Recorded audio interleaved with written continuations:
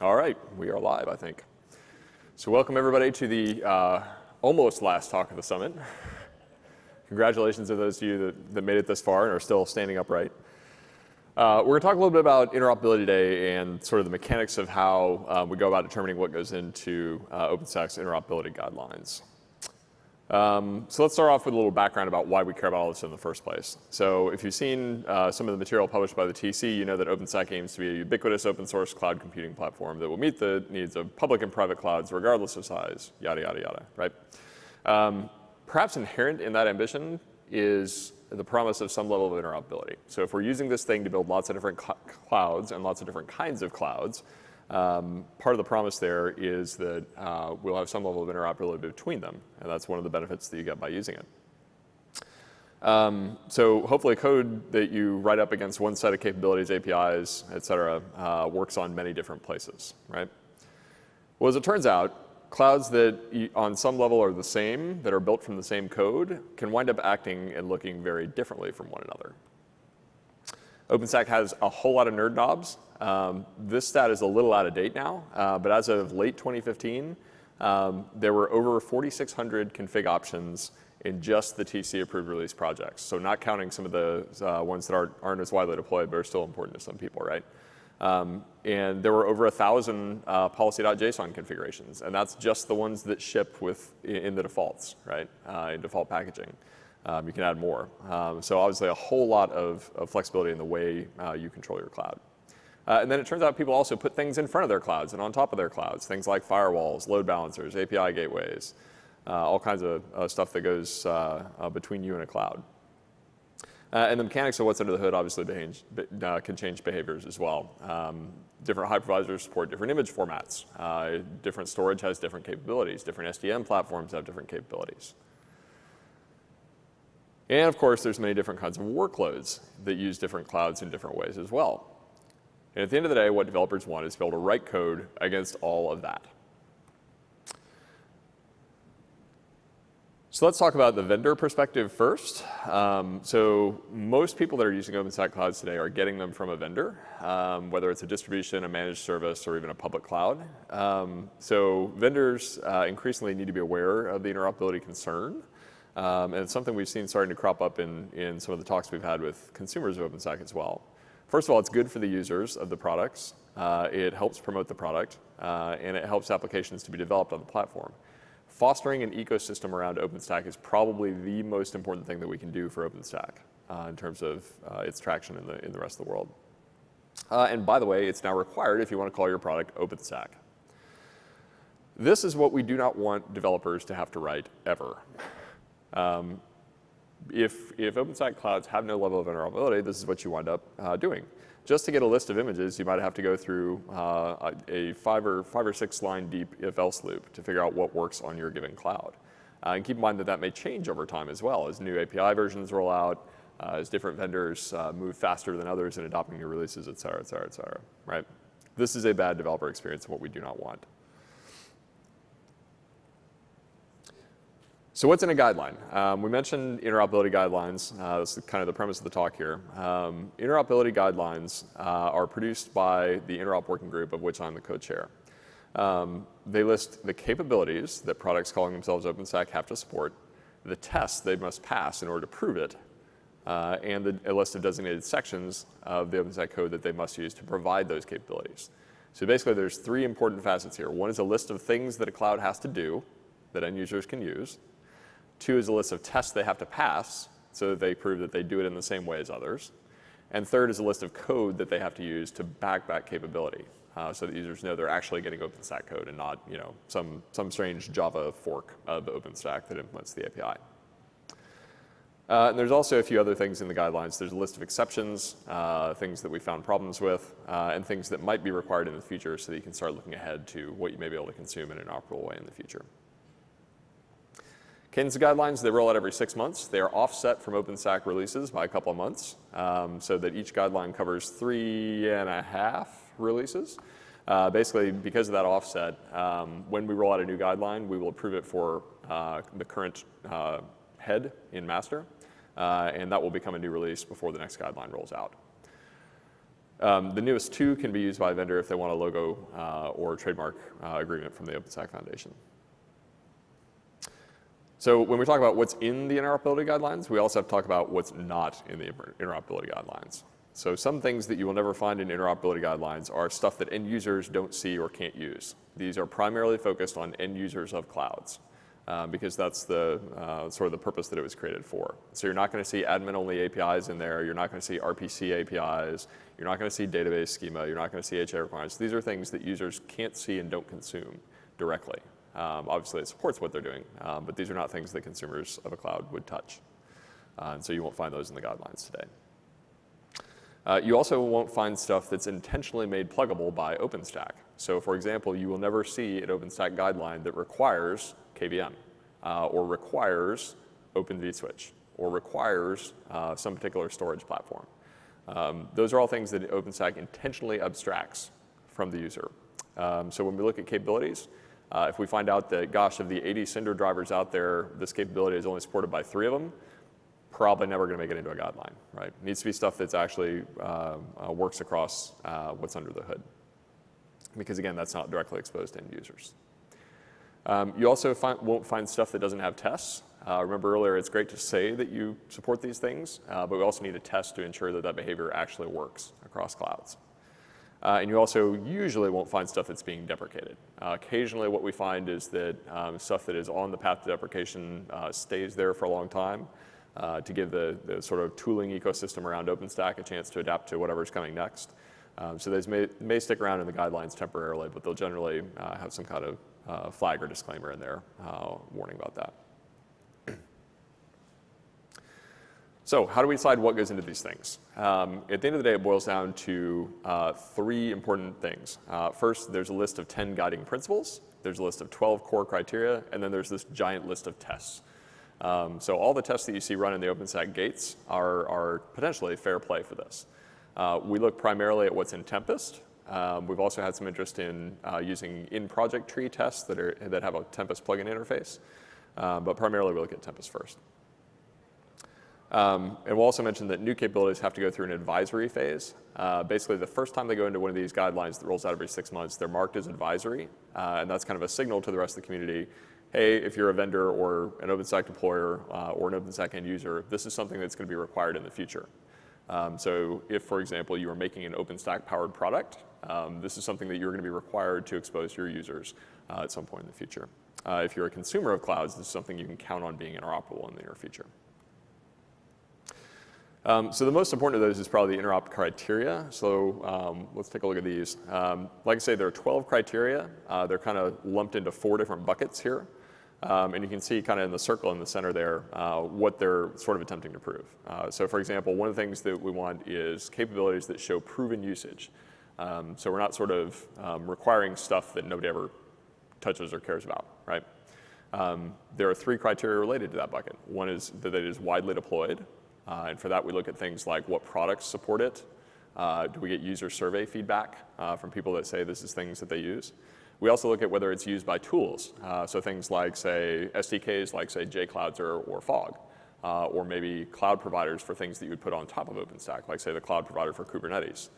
Uh, we also look at what's used by clients. Um, if a new API is introduced in OpenStack and it doesn't have support in OpenStack client and it doesn't have a Horizon interface, and the only way to get to it is directly through the API. It's probably not ready to go into an interoperability guideline.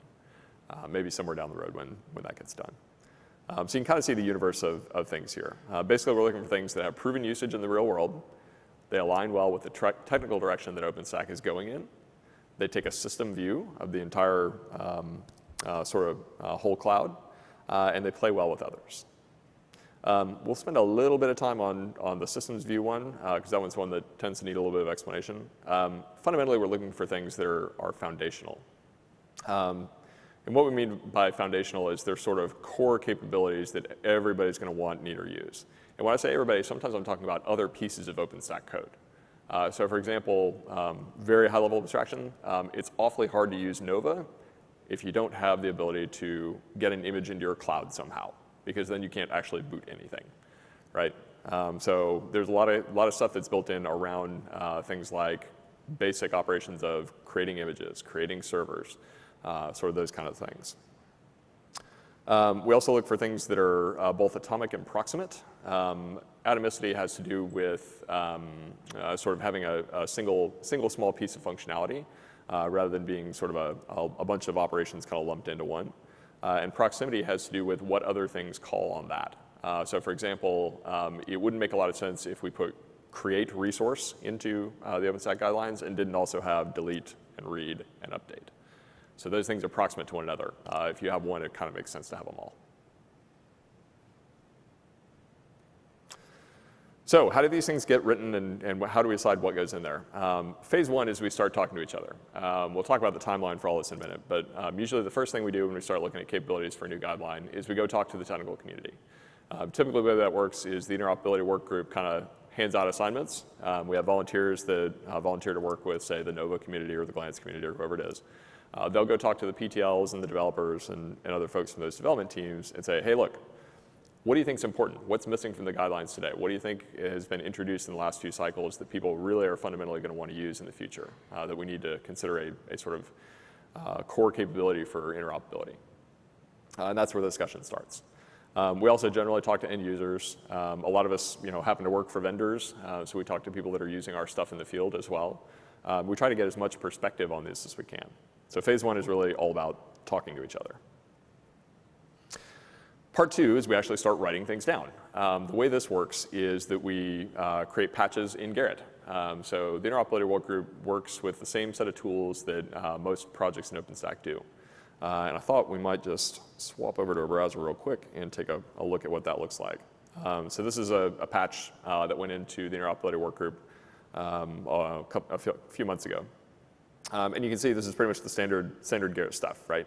Um, so we have approvals, we have plus twos, we have plus ones, we have a long string of discussions. Uh, you can see in this case the Nova PTL chimed in on this patch. Um, what it starts with uh, is a simple text file. Um, so we have a text file, uh, and you'll see over on the kind of right-hand side in the green there, uh, there's columns of numbers, and they're binary. They're ones and zeros. Um, those columns, if you look further up the text file, uh, those column headers are the 12 criteria that we just talked about earlier.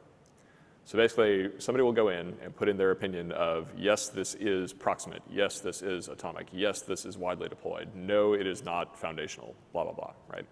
Uh, and then we have a little script that tallies up all the scores at the end of the day.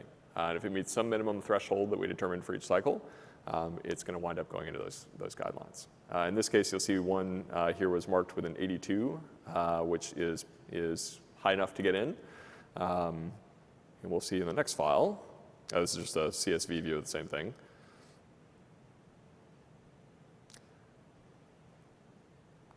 We'll see this advisory status here. Um, so basically we have, we have three things that we looked at, we talked about, uh, sorted out with the community and decided that these are things that should go into our next interoperability guidelines. Uh, first, they go through an advisory phase, so that's why they're added here. Uh, and then toward the bottom, you'll see there's actually one that we dropped here. Uh, for those of you that are familiar with Keystone, you know that they've uh, long since sort of moved on from uh, V2 of their API, uh, and that's a V2 API capability. And if we look a bit further down, we'll actually see tests associated with each of those. Um, so we'll see things like listing flavors, uh, and these are actually pointers to uh, Tempest tests. they actually have, every test in Tempest actually has an idempotent ID associated with it. It's kind of like a UID, just a, a, numerical identifier. So if the test changes names or changes locations, we can still figure out where it is. All right, so once we've written it down, we've agreed to, agreed to it, we put it through scoring, community's had a chance to give feedback on it, uh, we've decided to add something in. Uh, once all that is done for all the projects, uh, and, and we're getting toward the end of that six-month cycle, we bring it up to the board of directors. So I've kind of glossed over the governance model here a little bit, uh, but the Interop Working Group was actually created by the board of directors of the OpenStack Foundation, and that is ultimately who has to approve everything that we do. Uh, that's a little different from a lot of the um, development projects in OpenStack, um, but the reason is because the board of directors is who controls the trademark. So if you want to use the OpenStack logo, if you want a, a, legal agreement giving you the right to license that logo and put it on your product or call your product OpenStack, you have to talk to the OpenStack Foundation. So uh, this is one way that the OpenStack Foundation has put that governance process back into the community hands. Uh, so uh, anybody can come participate in the interop working group, um, and ultimately whatever we send up has to be approved by the board.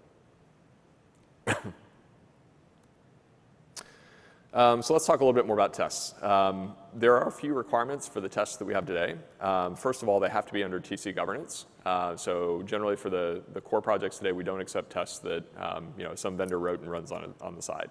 Um, and that's primarily, again, because we want the testing to be in the hands of the community. Um, if the community decides that a test isn't useful uh, or, or isn't testing a capability in the way that it should, it's probably going to get kicked out of Tempest, right? Uh, and if you look through our interoperability guidelines, most of the capabilities have multiple tests associated with them. Um, and so we can you know, add and remove from those over time.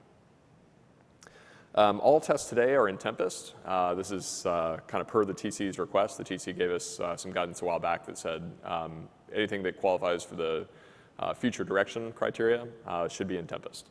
Um, I'll mention briefly that we are considering some new programs uh, for uh, vertical spaces and less widely deployed projects that may or may not have that uh, stipulation on them. Uh, but those are a topic for a whole other talk. So we'll gloss over those for now. Um, they must work in all the releases covered by a guideline. So remember I mentioned that a guideline generally covers at least three releases. Um, that means that the tests must function against clouds running any of those three releases. Uh, and that also, of course, means that whatever capability we're testing has to be present in all three releases. Um, part of that goes into the fact that one of the criteria we have is that we're looking for things that are stable over time. Uh, so if a, uh, an API is removed after six months of being in the real world, um, probably not something that we should require everybody to run. Um, never actually happens anymore, by the way. anymore. It's not 2011. Um, Typically, we have folks run these via a RefStack wrapper. Uh, so there's another uh, OpenStack project called RefStack, uh, which is a, a, sort of thin wrapper around uh, the Tempest project. Um, it will run the test for you and then report them upstream to a server somewhere. Uh, uh, so you can actually go out to refstack.openstack.org and see which guidelines you meet. And we'll look at that now. So a brief look at what RefStack looks like. Um, so this is the public RefStack server. Uh, it is an OpenStack project, so you can go get the code and, and spin up one internally inside your firewall if you want. Uh, but this is the public one run by the OpenStack Foundation on its infrastructure. Um, what we're looking at right here is what's in a guideline. Uh, and again, you can see kind of the same things that we saw earlier, just in a, a more human readable format, uh, as opposed to the, the JSON we saw earlier. Um, and this tells you a little bit about what's in those guidelines. You can see each of the capabilities listed. Uh, each one will have a set of tests associated with it. Uh, and then you can see which criteria it's stacked up against, uh, and also which, which project it's related to. This is a view of an actual test run that somebody ran with RefStack. Uh, I happen to run this one, so I can speak a little bit about it. Um, what you can see here, there are a couple of drop downs for the guideline version. Uh, 2017-01 is the most recent guideline, and we can see right here there's a nice green yes that says this cloud uh, passed all the required tests. And then for each of those, you can actually go into each individual test and see those as well.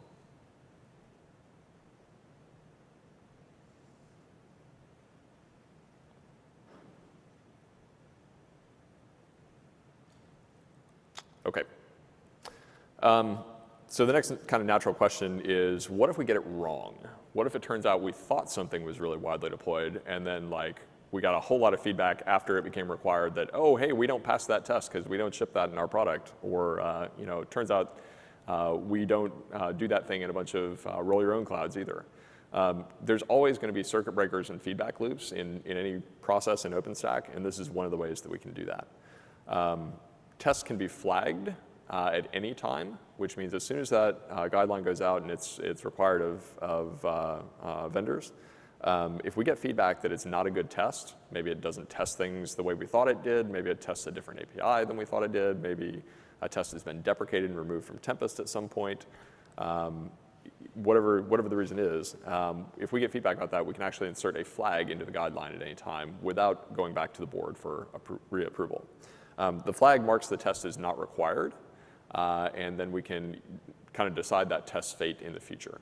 Um, it may be that, you know, frankly, this capability was just a bad choice and we never should have chosen in the first place, in which case we'll drop it out of the next guidelines. Uh, in other cases, it turns out, well, you know, that test actually had a bug in Tempest, right? Um, so nobody's going to be able to pass it, and it's not that they don't support the capability, it's just a buggy test.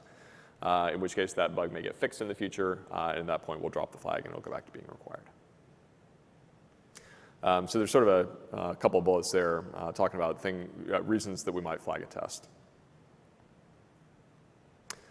So let's talk about timelines. Um, typically, the timeline uh, it's a little bit little bit loose, but the timeline usually looks something like this: uh, three months before a summit, uh, there's kind of a preliminary draft. It's usually a carbon copy of the last guideline uh, with a few numbers and names changed, uh, and that's kind of our starting point. Um, two months uh, after, before summit, we'll start talking about new capabilities uh, kind of going through that process of saying who on the interoperability work group is going to work with Nova this time around or, or whatever it is, kind of dividing and, and conquering uh, so we can get all the, all the projects that we need covered. Uh, about a month in, we'll start uh, scoring capabilities uh, and actually posting those patches up to Gerrit. Uh, and by Summit, we'll typically have a solid draft. If you look out at the repository right now, excuse me, you'll see a file called next.json. Uh, almost all the patches that we have outstanding for that have now landed. Uh, so you got a pretty good picture of what the next interoperability guideline is probably going to look like. Um, so now that we've got a solid draft out there, uh, we'll have vendors uh, who are interested go start testing. Um, you can consume that uh, next.json file anytime you want, uh, but now it's kind of a good time to, to go because we've actually got everything in there that we think is going to make it into the next guideline. Um, and that's again additional feedback loop. Um, we start letting vendors uh, run this and see, you know, oh gosh, that test has a bug, or uh, you know, this this isn't a thing we support. Maybe we should get on that and fix that. Um, those kind of things. Um, two months after Summit, we'll probably, we, we usually do the test flagging. Uh, flagging can actually happen at any time, but this is kind of the point where we stop and take a look and uh, make sure that we don't have any outstanding requests before we send something up to the board of directors. Uh, and then finally, three months after summit, we'll have uh, a vote by the board of directors uh, that hopefully ends in approval uh, if it's not too controversial. Um, if you look back in time, uh, just kind of a note at the bottom of the slide, if you look back in time, 2015 was a little bit weird in that we had a really accelerated schedule. That was kind of the origin of this whole process. Um, so we kind of moved fast and had a couple guidelines uh, in, in six months rather than just one. So the next thing folks want to know is why isn't this thing that is really important to me in those interoperability guidelines? Why can't I depend on it to be there uh, across all the different clouds? There's not really an easy answer. um, so it's a little dependent on, on each individual thing. So you remember the requirements that we laid out earlier. It could be that it just didn't meet criteria. It may be super important to you, but may not be applicable to you know 60, 80% of the rest of the clouds out there. Um, in which case, it's not a thing that we would probably feel comfortable requiring of everyone. Um, it may just not have been scored in time. Uh, it turns out there's a whole lot of research that goes into the scoring usually. Um, I know I've spent a whole lot of time digging around in like JClouds and Fog and, and Kubernetes and trying to figure out how they're using clouds and what capabilities they're using. Um, so that actually does take some time. Uh, and again, there's a lot of time spent conversing with the rest of the community as well. Uh, it may be that it was an admin-only capability. Uh, again, we're focused on the things that uh, consumers of clouds can use. Uh, so if it's only available to administrators, probably not a thing we're going to get here. Um, and kind of an important corollary to that uh, is that there are some Tempest tests that uh, test capabilities that end users typically can use, uh, but they're written in such a way that they use admin credentials to do so. Uh, and so there's no way that an end user of, say, a public cloud um, could actually run that same test and get it to pass because he does not have admin access to the cloud. So in those cases, uh, we can include the test. What we can do is start a feedback loop there, file a bug on the test, and say, look, this uses admin credentials for no good reason. Let's fix it. Um, and that has happened more than once. Um, it may be that the project itself wasn't widely deployed. Um, people ask about Designate a lot lately. Um, Designate is, as of the last user survey, I think is deployed in about 16% of prod and non-prod uh, OpenStack clouds in the user survey. Again, important to some people, uh, and we do have some new add-on programs coming that will, will help uh, guarantee some interoperability for them uh, but probably not applicable for uh, the, the, whole uh, rest of the universe. It may be that there are some things that don't have tests, uh, or maybe it didn't score highly enough across all releases covered in a guideline. Uh, so again, we're looking at at least three releases in each one of these guidelines. Uh, it may be that in the earliest of those releases, something really didn't have good client support yet. Um, so people running you know, that version of the cloud um, may, not, may not have good support for it yet. and sometimes it's just a matter of nobody's brought this up. Um, you know, we're, we're a bunch of the users in the community and we try to have a good read on what things people are using, but sometimes there are gaps. Um, so again, there's a lot of feedback loops built in there, uh, and we hope that the, uh, the feedback comes. All right, so if I'm an OpenStack developer, I've got a really cool feature. How do I get it into those guidelines? There's a blog you should read. Uh, the link's at the bottom there, um, but to summarize it, um, what we need that capability to do is meet all the guidelines, uh, all the capabilities that we use to determine what goes into the guidelines. Um, so you can do things like document it really well, uh, help foster adoption of it. Uh, you know, if, if the feature is completely undocumented, there's a good chance nobody's ever going to use it. Um, it may be that you can help foster adoption by doing things like helping other people use it via an SDK. Uh, maybe you can submit a patch to, say, JClouds or uh, work in um, Kubernetes or, or some other thing that uses clouds. Um, if, if lots of tools are depending on it, uh, it makes it easier for us to include. Um, we've already talked about tests, uh, and then of course you also need to be a little bit patient. Uh, again, this has to be in three releases. Uh, so if you have a new shiny object that uh, just went into the latest release, it's going to be a while. Um,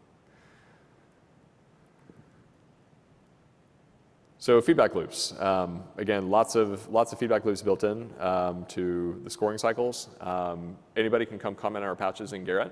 Uh, you can throw in your, your minus one plus one. Um, the board of directors also gets a chance to offer their feedback. Um, most of this originates with talking with the rest of the community and talking with the PTLs and, and the development groups to see what they think is core. Uh, and then even after something becomes advisory or required, there's another feedback loop built in there where vendors can ask for flags uh, if we find out that there's problems. Um, so plenty of, plenty of ways to, to do that. Um, also kind of important to mention, um, one of the things that we use when we're looking at uh, some of these criteria is the user survey. Uh, and we also look at RefStack to see uh, what test results are out there and what they actually support. Um, so things that you can do uh, are, if you're running a cloud, answer the user survey. Uh, and, and that way we'll know that a lot of people are running Designate or, or whatever project it is, right? Uh, and if you submit your test results via RefStack, then we can also see, oh, there's a cloud that supports all these other capabilities that we haven't even thought about yet. Uh, and if it turns out there's a lot of those, maybe that's the thing we should think about. Uh, and of course, you may also buy me a beer and bend my ear about that anytime. Um, quick notes about RefStack, because uh, we're running a little low on time. Um, it's actually not very hard to make RefStack work. There's some instructions. Uh, there's a link in the, in the slides. Basically, you go download, download the RefStack client, uh, run, a, run a setup script, um, configure Tempest for your cloud, point Tempest at it, uh, it executes the tests, and it uploads them to RefStack. Uh, there are now capabilities in RefStack where you can upload results anonymously or with uh, kind of a, an association to your user ID uh, so that you can only see them and make them public later. One thing that we've uh, been encouraging people to do is run not just the tests that are required in the current guidelines, but run all the tests. Um, frankly, if you're going to take the time to, to run a couple hundred tests, what's a couple hundred more? Um, it's a, maybe an extra hour of your time, right? Uh, and you're probably going to go, go have a cup of coffee in that time anyway. Um, the more data we have about what's out there and what clouds, uh, uh, what other tests clouds pass, the better decisions we can make about scoring later on. Uh, if you don't pass all the tests, it's important not to panic. Um, a lot of times uh, we figure out that uh, some of the problems that people have are environmental. Uh, maybe there was a timeout because their storage was slow or on their, their particular test bed. turns out test beds a lot of times are not built with like first class gear. They're built with like the server you found in the closet, you know? Um, so sometimes it's just purely environmental. Uh, sometimes we find bugs in tests. Sometimes we find bugs in OpenStack. Um, there's plenty of reasons why, why tests may fail. Um, we actually have people who will come help you with that. One of them is the interoperability engineer at the OpenStack Foundation, whose email address is right here on this slide. So don't panic. Uh, a few links where you can learn more. Uh, our two most recent board approved guidelines are at the top there, uh, as well as the next guideline draft. Uh, and links to all the stuff that uh, I showed you in the slides here uh, is there as well, including how to submit patches if you're interested in adding capabilities to future interop guidelines. So that's it. Do what I do, hold on tight, pretend it's a plan, and hopefully we'll have some interoperable clouds in the near future. And that's all I've got. any questions? I think we have about one minute. All right, in that case, thanks for coming. Have a safe flight home.